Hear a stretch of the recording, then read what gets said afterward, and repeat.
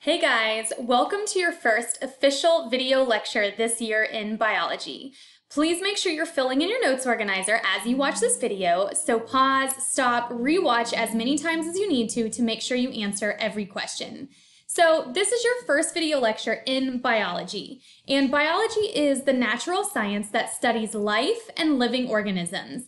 And today's theme is all going to be about what is a living organism.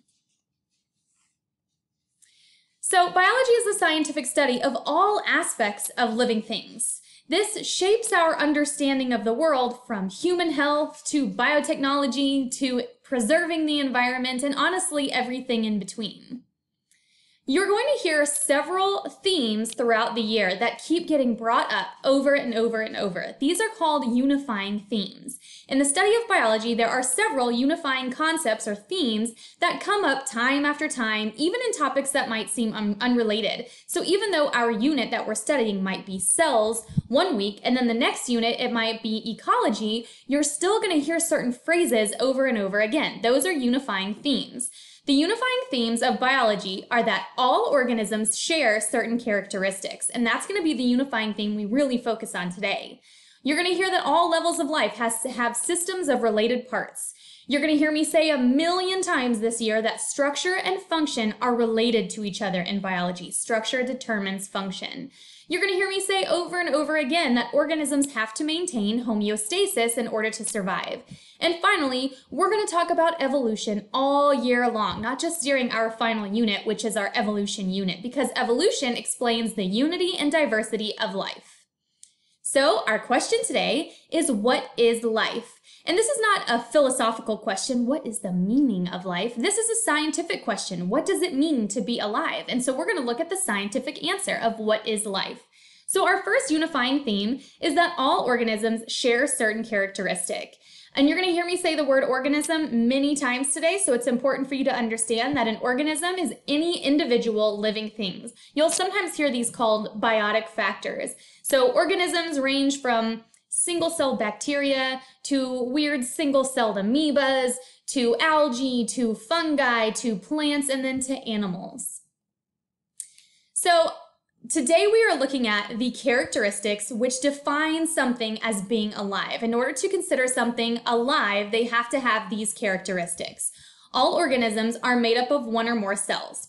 All organisms display organization. All organisms require energy. All organisms respond to stimuli. All organisms are capable of reproduction. All organisms grow and develop. All organisms maintain homeostasis. And finally, all organisms, and I'm going to kind of clarify that and say really populations, evolve. We're going to break down each of these characteristics of life and talk a little bit about each one of them. So let's start with our most basic characteristic of life, which is all organisms are made up of one or more cells. You should know what a cell is from your study of life science in elementary and middle school. A cell is the basic unit or building block of life. If an organism is made up of just one single cell, we would consider that a unicellular organism. If an organism is made up of many cells, then we call it a multicellular organism. So you can see some pictures here of some unicellular organisms, like these two right here, and some multicellular organisms. All of these cells come together to make up the organism. So just continuing on, differences between unicellular and multicellular. Unicellular organisms are actually the most common life forms on Earth. And that one single cell that they are made of carries out all of the functions necessary for life. Multicellular organisms, however, have many different types of cells and they all have different functions. All of the cells, whether the organism is unicellular or multicellular, every cell contains genetic information. Uh, that's typically DNA, but sometimes could be RNA, which carry the instructions for life.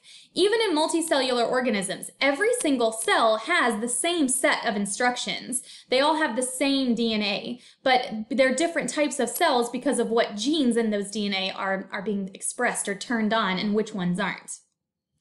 Okay, our next characteristic of life is that all organisms display organization. So an organism is a system that is made up of working parts. That's a unifying theme in biology. So each organized structure in an organism has a specific function. Every structure in a single-celled bacteria has a specific function. Every cell, every tissue within a multicellular organism has a specific function. So we're going to work our way up from the smallest makeup of an organism all the way up to the individual organism itself. So the smallest level would be the atomic makeup of an organism. So we start with atoms. Atoms come together, bond together to form molecules. Then you make up, you have a bunch of different molecules that come together to make up organelles, which are those small structures inside of cells. So organelles come together in order to make a functioning cell. Similar cells come together to make up a tissue. So for example, you have muscle cells that come together to form a muscle tissue.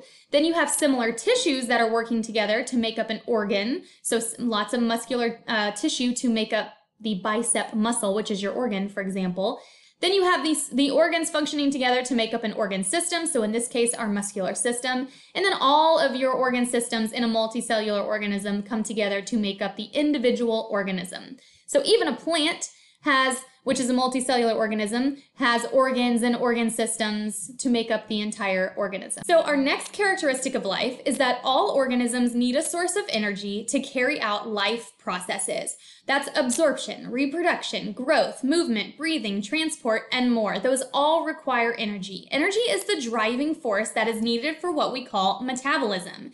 And metabolism is defined as just all of the chemical processes that are taking place inside of an organism. The chemical processes that are building up materials, the chemical processes that are breaking down materials, all of those processes together make up an organism's metabolism. So the question is, where does that energy come from? If I asked you where your energy came from, you would probably tell me that your energy comes from your food.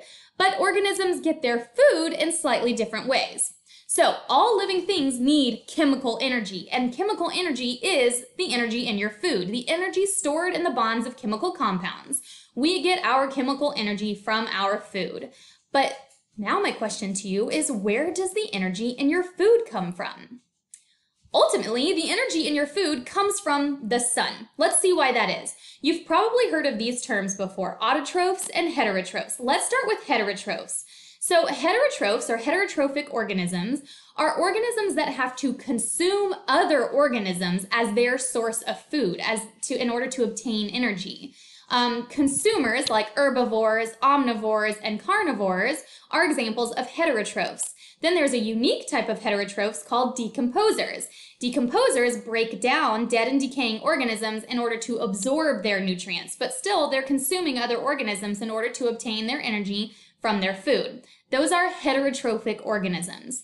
Autotrophic organisms are organisms that don't have to consume other organisms for their food. They are capable of producing their own food. Okay, so that word part troph means food. So they produce their food sort of automatically, autotrophs. So the autotrophic organisms that you're probably most familiar with, and the ones we'll talk about the most, are the photoautotrophs. These are autotrophic organisms that photosynthesize. They convert solar energy into chemical energy, so they make their own food through the process of photosynthesis. Chemoautotrophs are autotrophic organisms that make their own food using the energy that's found in, in chemical compounds. Uh, some example of a chemosynthesis, chemosynthetic organism are like the weird little microorganisms that are down in the sulfur vents at the bottom of the ocean. Okay, our next characteristic of life is that all organisms respond to stimuli. Organisms have to be able to react and respond to their environment in order to survive because environments change. So light, temperature, touch are just a few examples of physical factors that organisms have to be able to respond to.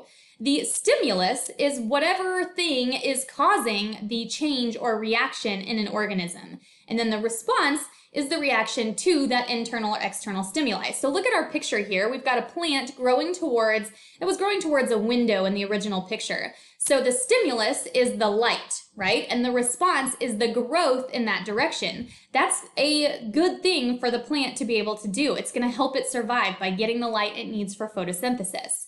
Look at these pictures here. These are all examples of organisms responding to their changing environment. See if what if see if you can identify the stimulus and the response in each of these scenarios and put one down on your paper.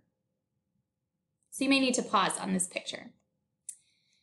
The next characteristic of life is that all organisms are capable of reproduction. We've got to ensure the survival of the species, right? So, in order for the species to survive, organisms have to be able to reproduce or produce the next generation of individuals.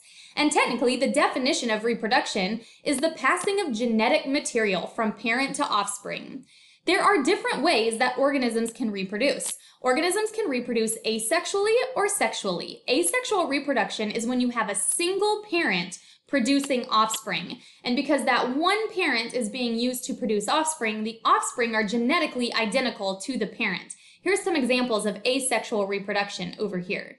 Sexual reproduction is when you have the combination of genetic material because you have two parents being used to produce offspring. So their genetic material combines in order to produce offspring that are genetically different. Obviously, uh, humans are an example of organisms that reproduce sexually. Now, you may want to pause on this and look at some comparisons here of asexual and sexual reproduction. We've got some advantages and disadvantages of each, and then a good Venn diagram comparing and contrasting the two. So pause on this slide to get whatever information you need for your paper. Our next characteristic of life is that all organisms grow and develop, and those two terms mean different things. Growth is simply an increase in mass or getting bigger, going from smaller to bigger. That's growth.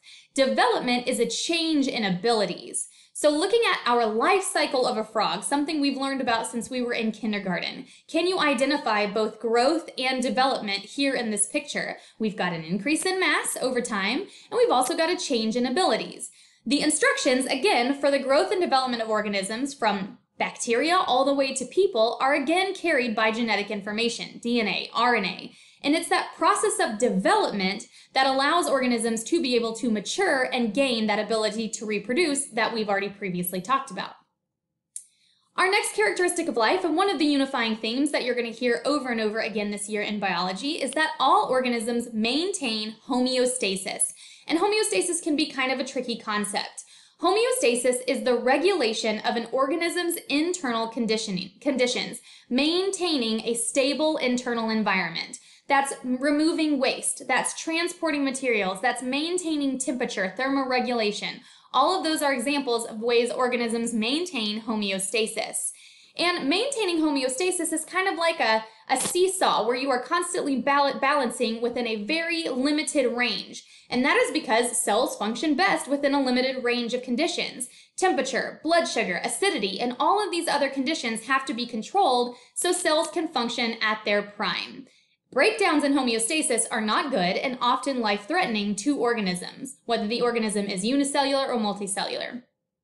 And then homeostasis is maintained through natural feedback mechanisms, things that just happen naturally in the organism, but also in organism behaviors, right? If your body temperature goes up, there are certain natural things that start happening to regulate your body temperature. But if you touch a hot pan, for example, you behave in a way that maintains homeostasis by removing your hand. So here are some examples of organisms maintaining homeostasis. So again, pause on this slide if you need to and see if you can identify how each of these are organisms maintaining homeostasis and choose one to write about on your paper. And then our final characteristic of life is that all organisms, and I'm gonna, I'm gonna clarify that and say actually it's the populations evolve, right? A single organism doesn't evolve, it's the, the whole species or the whole population that evolves. Uh, a term you've probably heard before is adaptation. Adaptations are any inherited characteristics that benefit an organism in its environment. Adaptations help organisms survive. So you can see this cheetah here with various adaptations that help it survive within its environment. That's all a result of natural selection through evolution, and this happens in all populations. A strong species is going to be one that has genetic variation because they can withstand a changing environment through the process of natural selection. If they're all genetically the same, they're all susceptible to the same things. So those are our characteristics of life, the things that identify life, what makes a living organism. Go back and rewatch anything you need in order to make sure that you answered all your questions. And then we're going to end on a little joke. Why did the bacteria cross the microscope? To get to the other slide. Hope you're having a great day.